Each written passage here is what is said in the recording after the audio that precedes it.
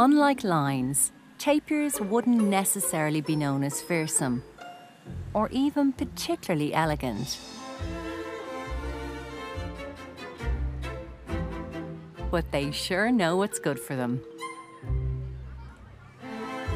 John, who's one of the rangers looking after them, is for once indulging them.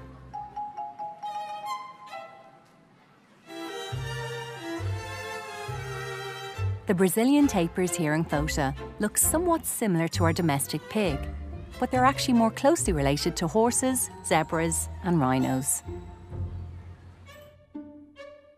Maya is missing out on the fun. She is due to give birth any day.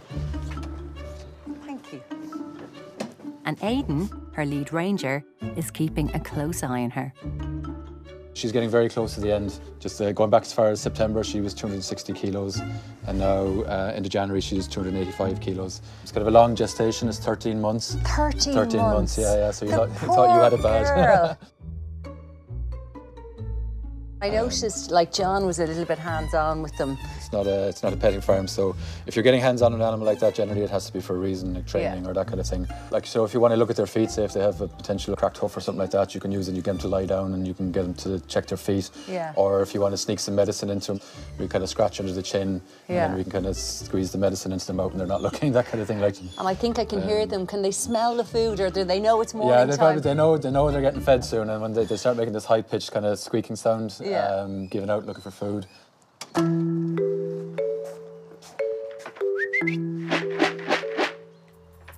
this is Maya. Maya, She's obviously the hungriest one. looking for it. look at the mouth and everything's going already. so you can kind of see from the size of her, like you know, she's she's good, kind of barrel shaped, like you know. This is Pablo. This is the calf from um, 2017, and then Basil. If he gets out of bed, should be next. We give them a small bit of fruit, some vegetables every morning, and their pellets just to make sure they get the vitamins and minerals they need. Yeah. Um, and then the bulk of the diet is made up with um, branches and hay. Oh, there's Basil now.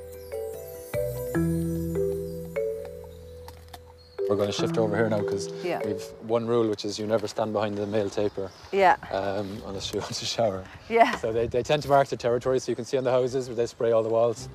Is that their spray? Yeah, it's like a shotgun in the face. Is it? Yeah, yeah. So you never stand behind the male. I'll just I'll just keep moving Never got slightly the, there. never got the full blast. So if he turns, we turn. Yeah. So um, yeah, you're always cautious and you're always watching.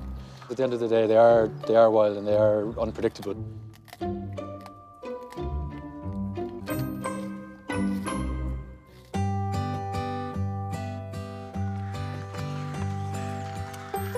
Some great news at FOTA, as one of the most eagerly anticipated babies has finally arrived.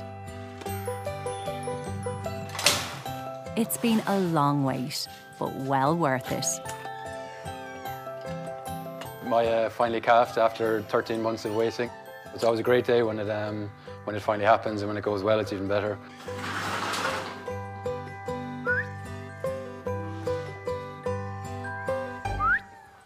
We're just gonna roll it over slightly, check the condition of the navel.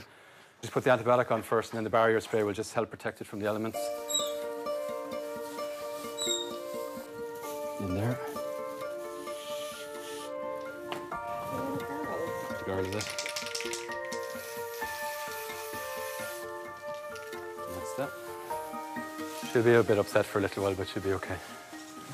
The calf is another welcome arrival for an animal that is often referred to as a living fossil, because tapirs have been roaming the planet longer than most other mammals.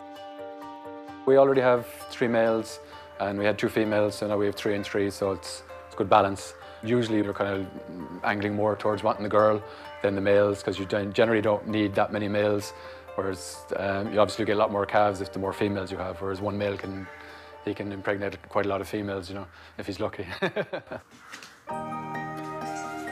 they're such a gorgeous little calf as well, like they're, they're probably the cutest um, animal on the, in the park, to be honest, in my opinion anyway.